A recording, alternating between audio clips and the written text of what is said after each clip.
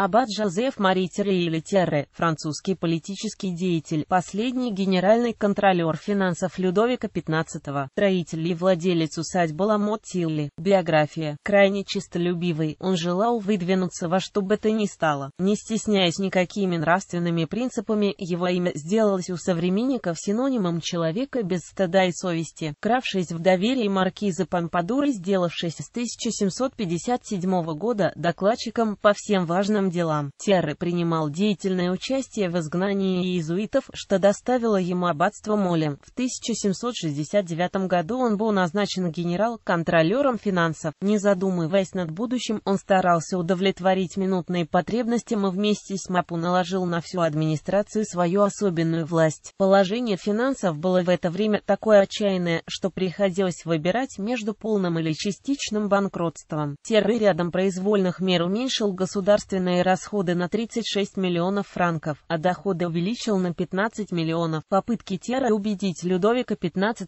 меньше расходовать на придворную роскошь и прихоти были неудачны. Пришлось опять повысить налоги. Мысль Терри о переложении налогового бремени на зажиточные классы встретила такое сильное сопротивление, что осталось только в проекте. В борьбе Мапу с парламентами Терры принимал деятельное участие, но после победы поссорился с Мапу. Ненавидимый общественным мнением, он был отставлен Людовиком XVI 23 августа 1774 года и заменен Тюрго. Народ с восторгом приветствовал эту отставку, а Тиаре, поселившись в своем имении, неустанно интриговал против Тюрго до его падения.